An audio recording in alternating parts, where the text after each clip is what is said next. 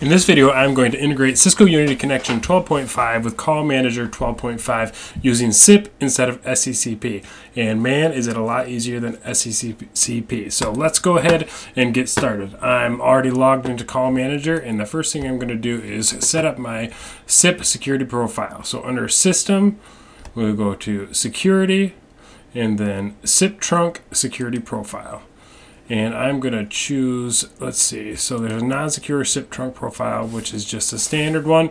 I'm just going to copy that one, and I'm going to rename it uh, Unity, and I'm going to keep that all the same, and then I'm just going to uh, check these boxes, accept out of dialog refer, accept unsolicited notification, and accept replaces header.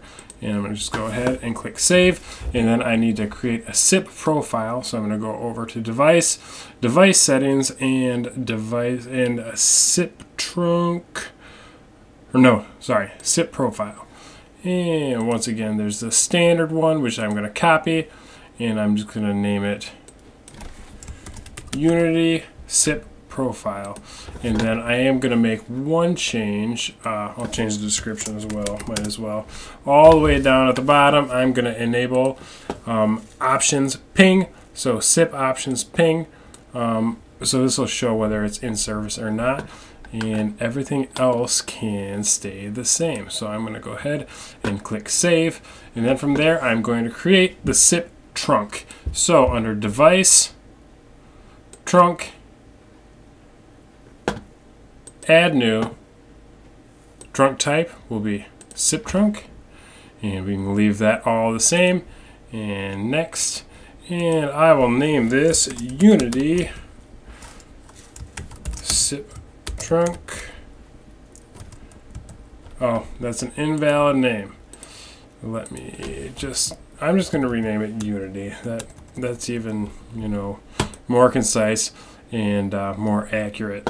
Um, let's see, I need to give it a device pool and location I'm just going to leave as hub none. Um, and then I'm going to scroll all the way down to um, inbound calls. I'm going to give it a calling search space. it needs internal only. Obviously, your calling search spaces are certainly going to be different than mine. So internal only should work just fine. It only needs, it doesn't need to get outbound. Um, and then I'm going to check the redirecting diversion header. And then if I go down all the way to the destination. In the last video, I made my Cisco Unity connection server. I built it, and the IP address is 10.0.0.13, and that will be destination port 5060. That can stay the same. And then down underneath that, we're going to choose the SIP trunk security profile that we made earlier, Unity, um, the rerouting calling search space. I'm going to do internal only as well. Out of dialog, same internal only. And for the SIP profile, I'm just going to choose the one that we made, Unity SIP profile. And that is going to do it. And I'm going to click OK. And from there, I'm going to go to call routing and route hunt and route pattern. And I'm going to add a new one. And I'm using 5555. So this is what um, people will call if they want to dial their voicemail directly. It's also going to be the voicemail pilot. And I'm going to put this in the internal partition that everybody can reach. And I'll call it RP to Unity connection. And then I need to set the gateway route list. So anybody who calls this number is going to get dumped to the SIP trunk that we just created, which is called Unity. Now I'll click save, and that's going to do it for that route pattern. Next step is to make um, the Hunt Pilot. So we'll go to Advanced Features, Voicemail, and we're going to go to Voicemail Pilot. And I'm going to add a new one.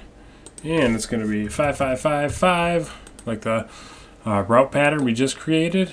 And I'm going to make it internal only again for the calling search space. And I'm going to click save. Next, we need to create the voicemail profile, which is again under advanced features, voicemail and voicemail profile. And I'm going to add a new one. And I'll call it Unity. And I don't think it even needs, I'd probably put a description if this was production, but we'll use the only voicemail pilot we have, which is 5555. And that's it for this. So I'm going to go ahead and click save. And from there, we move on to Unity connection. And we are going to go down to telephony integrations, phone system, and we are going to add a new one. And I'm just going to call it CUCM. And go ahead and click save. And I'm going to make it default trap phone system and click save again. Then I'm going to choose port group and do add new and I'm choosing CUCM for the phone system just created and we're going to change this from SCCP to SIP and display name CUCM-1 is fine and we want to change the host name to 10.0.0.10 which is the call manager IP address. And click save. And then if you have uh, subscribers you can go into edit servers and you can see there's the one that we just created. Um, I'll change this to one and then I hit add and I'll change it to two. And I actually do have one. I don't think it's powered on right now but uh, a subscriber call manager and I'm going to click save. And I'm going to go back to port group select the one we created, and up here on the top right, there is this uh, add ports under related links. I'm going to go ahead and click that, and I'm going to choose 10 ports, and I'm just going to click save. And there we go. And that should be it. We should now have connection. So, oh, I just turned my phone off. But no worries, I have Jabber, so I'll dial 5555 and. Hello, Cisco Unity Connection Messaging System. We made On a touch-tone telephone, you may dial an extension. So that's it. Um, that was real easy. Um, we got a, a SIP trunk up, and voicemail is basically set up. I can start creating uh, profiles in Unity, and over um, in Call Manager again. Um, remember when I enabled the ping settings? So this is what I was talking about here. So we can see time in full service, three minutes. Um, so in the next videos, I will start making some profiles and probably add uh, Active Directory connection.